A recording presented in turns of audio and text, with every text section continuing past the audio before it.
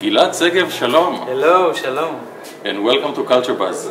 Thank you very much. Actually, Gilad, we are your guests tonight, That's true. here in Reading 3, Tel Aviv Harbor, and it's a wonderful uh, celebration. It's your fourth album. It's my fourth album. Can you believe it? Yes, I, it's a big mazal for me because How did you do it? It's like having four kids, and uh, this one is a very special one.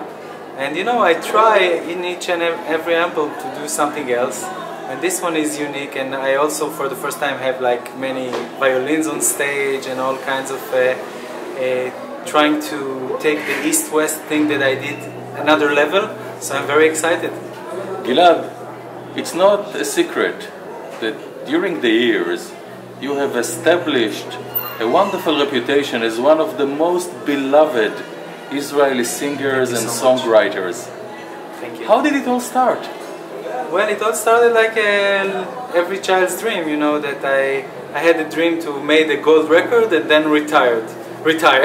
I had a dream to make a gold record and then retire.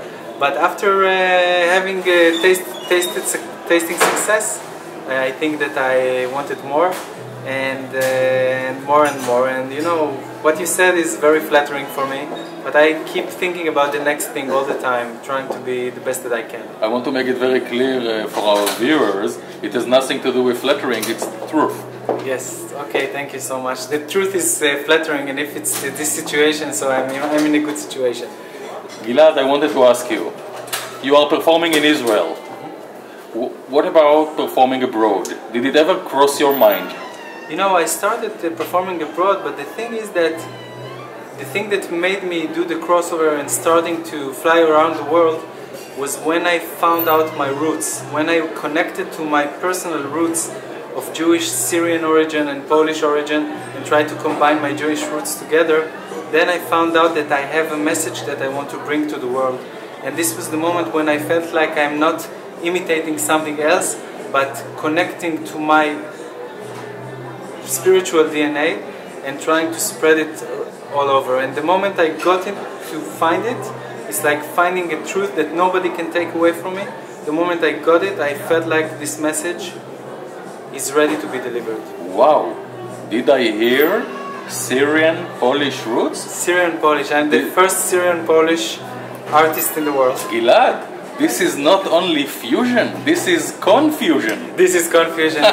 Definitely, when you hear the, the art, you said you said it so good. When you hear the art, you you find out that most of the songs are confusion, but sometimes a little spark lights, and then it's fusion, and then amazing things happen. And I'm getting excited just from talking about it. Listen, we can't wait hmm. To hear it. So come on, come see the show. We are definitely coming and we will take, we'll shoot one clip or maybe even